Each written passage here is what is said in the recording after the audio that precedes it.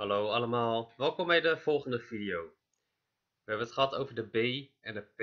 En vandaag gaan we ook nog oefenen met de D. Dit is vooral een luisteroefening. Ik ga namelijk een woord zeggen en jij moet goed luisteren welk woord dit is. En is het met een B of een P of een D? De baas. B, P of D? Heel goed, B. Deze man is de baas van school. Volgende woord. Het deeg. Het deeg. B, P of D? Het is met een D. Ik heb deeg nodig. Kun je gebruiken om pizza te bakken. Het volgende woord. De boom. Is dat een B of een P of een D? Het is met een B. Het paar. Het paar. Dan B, P, D. Goed zo. Het paar. Een paar schoenen. Mooie schoenen ook, hè? Daar. B, P of D. Daar. Het is een D.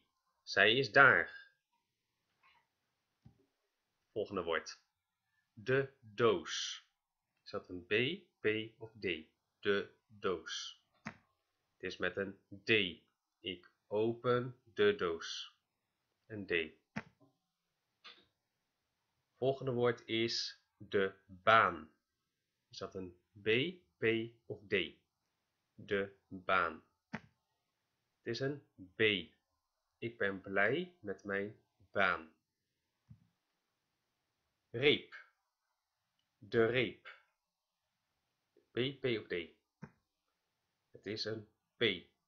Mijn moeder eet een reep chocola. Het volgende woordje is de been. De been. Is dat B, P of D?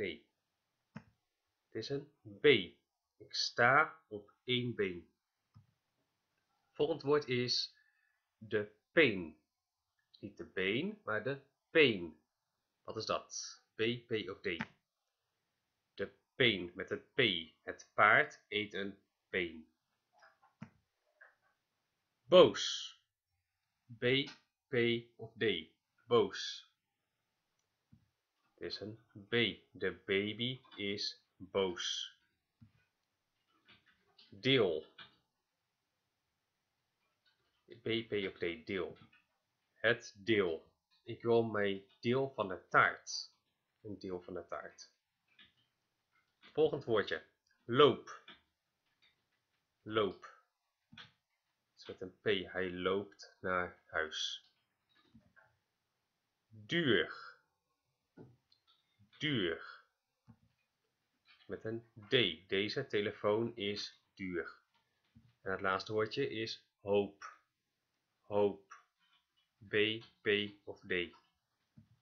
Het is een P hoop dat mijn huiswerk goed is. Dat waren de woordjes. Jullie mogen maken spelling in de lift, bladzijde 22. Er staan ook wat woorden in die wij nooit hebben gehad. Nou, zoek ze gewoon op in Google Translate, dat geeft helemaal niet, daar kun je alleen maar van leren. Schrijf het even op in een schriftje en dan leer je weer nieuwe woorden. En je moet vooral kijken, is het een B of een P of een D? En vergeet ook niet om ze hardop even te oefenen. Je alleen maar van leren. Vergeet ook niet om gisteren te kijken voor ander huiswerk van de andere docenten. En als je klaar bent met Nederlands huiswerk voor vandaag, dan kun je nog andere dingen oefenen. Succes!